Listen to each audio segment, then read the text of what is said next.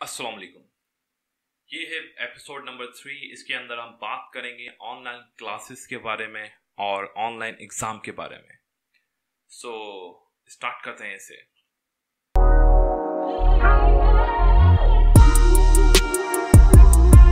असल में पाकिस्तान में जब से आपने देखा होगा कि ऑनलाइन क्लासेस के बारे में बात की जाती है तो हमारे पास दो बेचारे दो हमें जब भी ऑनलाइन क्लासेस के बारे में बात की जाती है तो दो ग्रुप हैं जो बेचारे इस बारे में बड़े ही गमजदा हैं।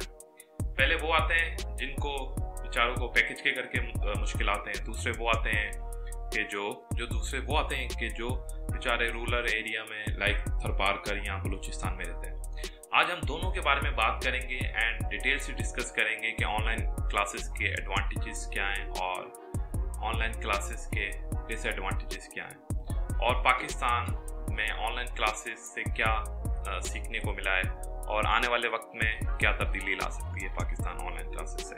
आपने सुना होगा कि मार्च के स्टार्टिंग में कोरोना वायरस की वजह से क्लासेस क्लोज कर दी गई। उसके बाद प्राइवेट यूनिवर्सिटी ने तो फौरी तौर पर ऑनलाइन क्लासेस स्टार्ट कर लिए। गवर्नमेंट यूनिवर्सिटी और सेमी गवर्नमेंट ने अप्रैल में प्राइवेट और सेमी गवर्नमेंट ने स्टार्ट किए। ऑनलाइन क्लासेस जूम के थ्रू अभी भी ली जा रही हैं और ली जा रही थी। मगर इसमें जो सबसे पहले डिफ़िकल्टीज फेस की वो थे, वो स्टूडेंट जो रूरल एरिया में रहते हैं। उनमें बड़ी वजह थरपारकर और बलूचिस्तान के स्टूडेंट थे, जिनको वहाँ पर सिग्नल तक मोबाइल कॉल करने के लिए नहीं आते और वो क्लासेस लेने का बेचारा बड़ी डिफ़िकल्टीज से ले रहे थे।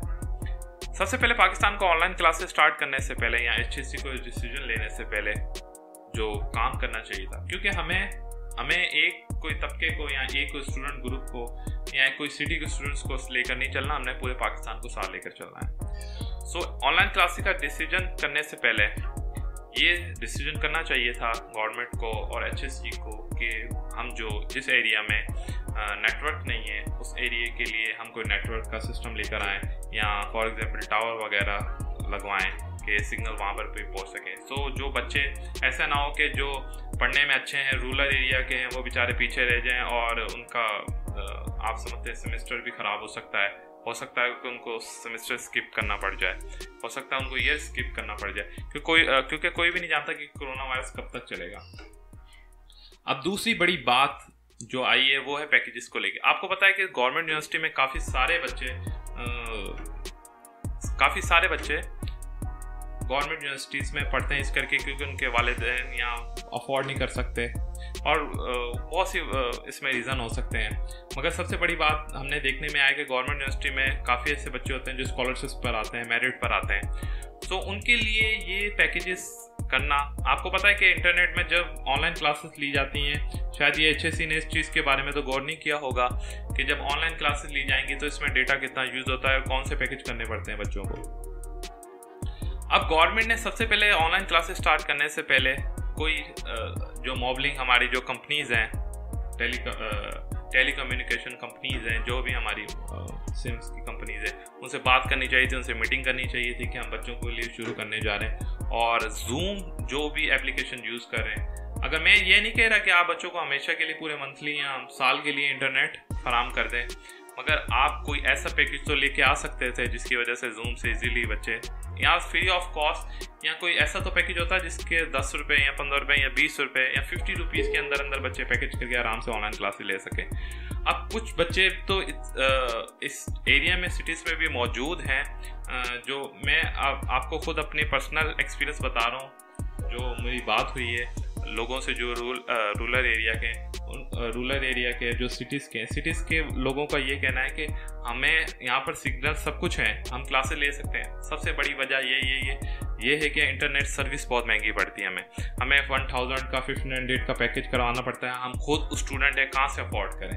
So, गवर्नमेंट को सबसे पहले जो चीज़ करनी चाहिए थी वो ये थी कि इनको पैकेजेस लेकर आने चाहिए थे सारे स्टूडेंट्स के लिए।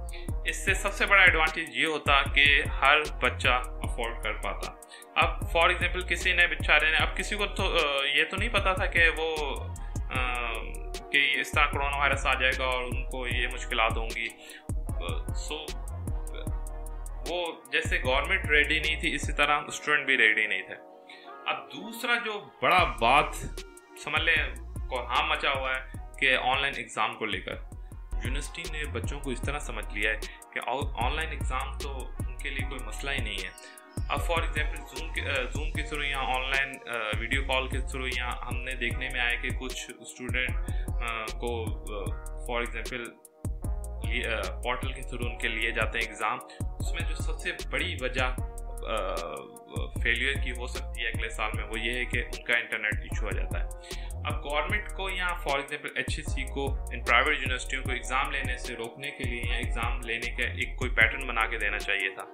अब ये मन माने एग्ज़ाम ले रहे हैं। अब मेरी कुछ बच्चों से बात हुई है, वो बेचारे एग्ज़ाम देने के दौरान ही क्वेश्चन को पूरा नहीं कर पा रहे और उनका जो पोर्टल है वो ऑफ़ हो जाता है।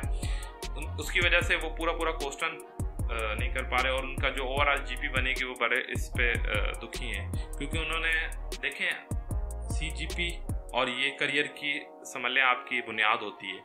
सो so, अगर फॉर एग्जांपल उनके एग्ज़ाम अच्छे नहीं हुए तो उनकी सी जी पी नहीं अच्छी आएगी बाद में उनकी डिग्री ख़राब होगी।